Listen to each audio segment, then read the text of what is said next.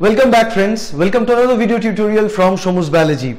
And in this particular video lecture, we want to talk about your career option as a drug inspector. Many of you aspire to become a drug inspector. Probably you have heard these terms a lot and I also received so many comments regarding tell us how to become a drug inspector. So so, इस video में हम बात करेंगे कैसे आप drug inspector बन सके और वो बाइलिंगुअल लाइक इंग्लिश और हिंदी को कंबाइन करके so that all the other students can get the benefit from that. So stay tuned and watch the video till the end.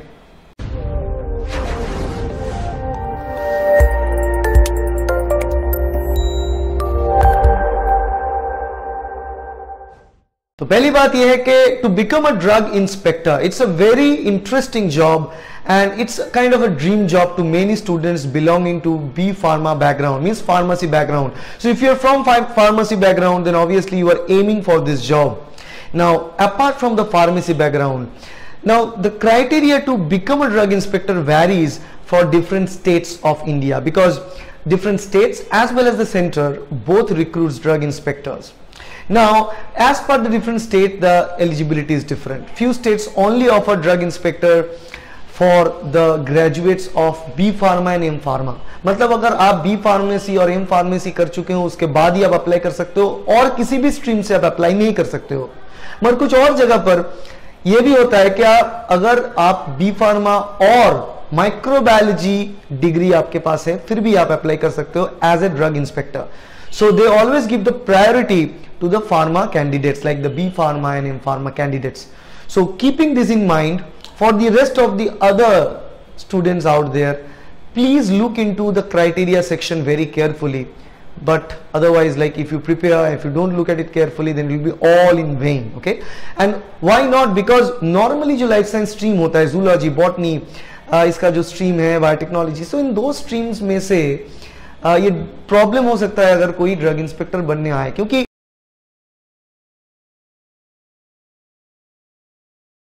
पहली बात आपको समझना है what is drug inspector I mean what is the job of drug inspector So particularly in a very simple idea I can tell you like from the moment a drug is prepared, produced in a manufacturing house of a pharmaceutical company, from that moment the drug takes a vigorous journey through different stages and ultimately hit the retail market.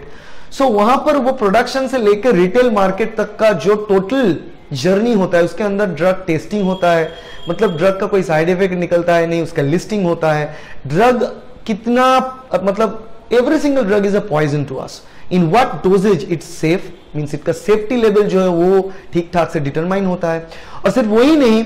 Determination of safety and उसके बाद सब कुछ लेकर report produce करना, उस report को फिर से वेरीफाई करना, उसके बाद उसको अलाउ करना कि वो रिटेल मार्केट तक आ सके। ये सारे के सारे रिस्पॉन्सिबिलिटी होता है ड्रग इंस्पेक्टर के हाथ में। और this is not only the responsibilities drug inspector also have the responsibility of occasional raids just like other inspector raid तो वो रेड कर सकते हैं, वो आके छानबीन कर सकते हैं। किसी भी फार्मास्यूटिकल कंपनीज़ को देखने के लिए कि नॉर्मली वो फार्मास्यूटिकल कंपनी सारे जो इंडियन फार्मास्यूटिकल लॉज है मतलब ड्रग्स और कॉस्मेटिक्स एक्ट 1940 ये एक्ट को ठीक ठाक से मेंटेन करके मेडिसिन प्रोड्यूस कर रहा है या नहीं? अगर नहीं होता है तो उनके पास ये भी राइट होता है कि वो उस कंपनी का लाइसेंस को सीज कर सके। तो ये होता है ड्रग इंस्पेक्टर जॉब रिस्पॉन्सिबिलिटी तो सुनने में बहुत अच्छा लगता है, मगर for that reason you need to be a graduate for B pharma and then if possible then M pharma और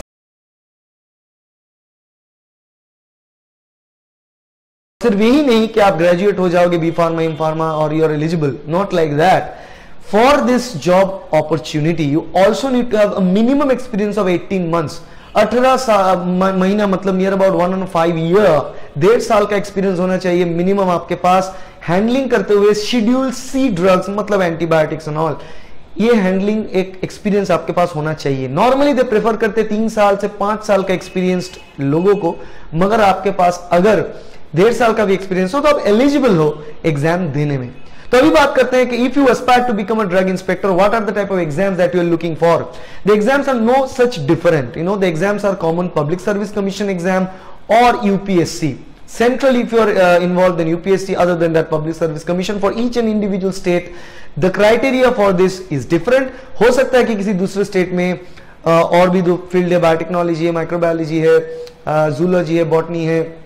human physiology from those backgrounds हो सकता है कि इन फ्यूचर टाइम्स में क्योंकि जॉब जो एक जोन है लाइफ साइंस स्ट्रीम का वो कम हो, होता जा रहा है तो हो सकता है कि उन लोग इन स्ट्रीम में से भी आपको अलाउ करें एग्ज़ाम देने के लिए मगर right now it's not a possibility so it's always best to become a drug inspector you should belong from the like B pharma and do the M pharma. So the thing is right after your plus two, you can directly aim for the like B.Tech and M.Tech in pharmacy or you can go with the conventional course of pharmacology and then come into this section. Now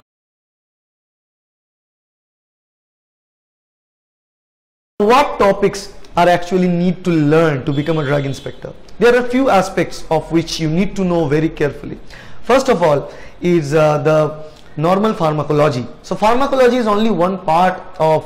the subject that needs to be taught to become a drug inspector apart from that बहुत सारे अलग से Jones होते हैं, जैसे कि forensic pharma होता है उसके साथ साथ ये भी होते हैं कि प्रोडक्शन मैनेजमेंट फार्मा तो ऐसे बहुत सारे अलग अलग जोन्स होते हैं फार्मा के. इट्स नॉट लाइक जे मेडिसिन को प्रिपेयर करने मतलब एक ही टाइप का होता है. मतलब you need to know the acts in forensic pharma you need to know all the acts that are associated with criminalistics and all so that you can understand about it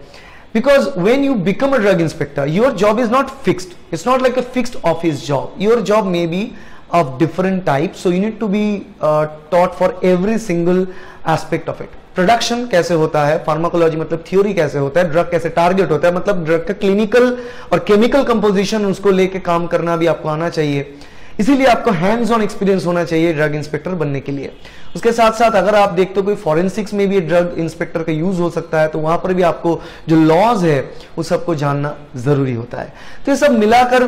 these are all the requirements that you should have to be involved uh, to become to aspire to become a drug inspector now if you have all these things you simply go with the b pharma qualified go for the m pharma and then with the experience of 3 years you can apply for the post and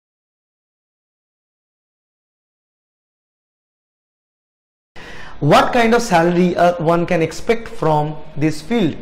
now जो salary expectation आपकी यहाँ पर रहेगी वो at the beginning 30 to 40,000 rupees per month रहेगा okay so pay band normally 9,300 to 30,000 like 16,800 plus the grade pay 4,500 something like that was that so calculate अगर किया जाए तो 30 से 40 हज़ार रुपए पर महीने का तनख्वाह रहेगा at the very beginning and then slowly as you become much higher grade officers there then your salary will increase to 50 60000 70000 80000 even 1 lakh per a month after many years of experience in that field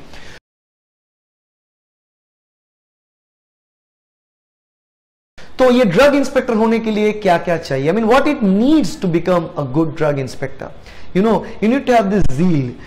to fight for uh, to understand what this drug do. First of all, you need to have a very clear understanding of the biochemistry of how drugs perform. But apart from that, you need to be able to know that the importance of a drug in human society and if you misuse a drug and what kind of result it may give us. So you need to be very careful and a vision with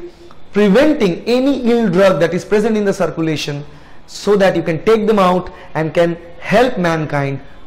for a better future and better health तो ये गोल अगर आपके अंदर है कि आप help करना चाहते हो, आप आपका, आपकी जो नॉलेज है बी फार्मा की, उसको यूज़ करना चाहते हो, इस्तेमाल करना चाहते हो, ताकि हम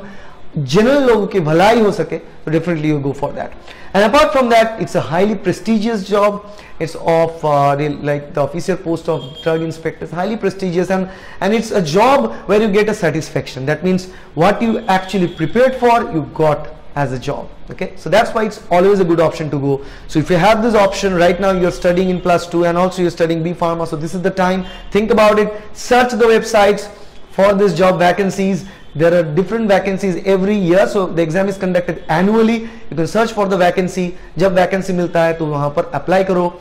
uh, with necessary documents. So hopefully you can get the job so this is all regarding it. Now with this job you can like what i told normally is regarding the government job so government sector में ही लोग चाहते हैं कि as a drug inspector आए। मगर normally without government sector भी बहुत सारे आ, अच्छे जो फार्मास्यूटिकल कंपनीज़ है वो प्राइवेटली बहुत सारे ऐसे drug inspectors as a QC अंदर के टीम में रखते हैं। तो उसके भी लिए अगर आप अप्लाई करना चाहते तो कर सकते हैं। द डिफरेंस हियर इज़ यहाँ पर वो जो रिस्पेक्ट वो जो एक पावर गवर्नमेंट ऑफिसर के होते हैं एज ए ड्रग इंस्पेक्टर वो नहीं होता। मगर यहाँ पर सैलरी जो है, बहुत ही अच्छा मिलता है। एट द स्टार्टिंग आपको साठ सत्तर हज़ार रुपए पर महीने की सैलरी मिल सकता है in a good reputed pharma company as a drug inspector and drug vigilance okay so इसके लिए आप वेबसाइट देखिए ट्राई कीजिए, हो सकता है। मगर एक्सपीरियंस इज़ मैंडेटरी तीन साल से पाँच साल, बहुत ही अच्छा है। ऑल वो कहते हैं कि डेढ़ साल but it's better if you have a three to five years experience in this field. So that's all for this video now. So if you like this video please hit the like button share this video with your friends subscribe to our channel to get more and more videos like that. Thank you. Bye.